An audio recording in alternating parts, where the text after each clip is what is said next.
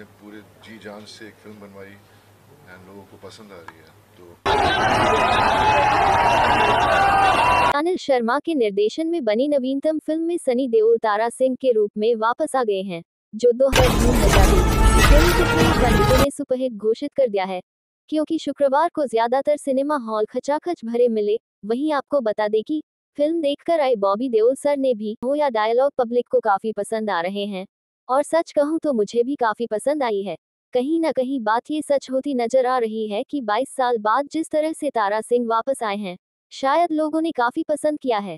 ये फ़िल्म इस बार ब्लॉकबस्टर साबित होने वाली है, क्योंकि जिस तरह से लोगों का प्यार इस फ़िल्म को मिल रहा है, और दर्शक इसे देखने के लिए भारी तादाद में सिनेमाघरों में जा रहे हैं, फ़िल्म इस बार ब्लॉकबस्टर होकर ही रहेगी। तो इस तरह से फ़िल्म पर रिएक्ट करते हुए बॉबी पर क्या कहना चाहेंगे? हमें अपनी राय कमेंट में ज़रूर बताएँ।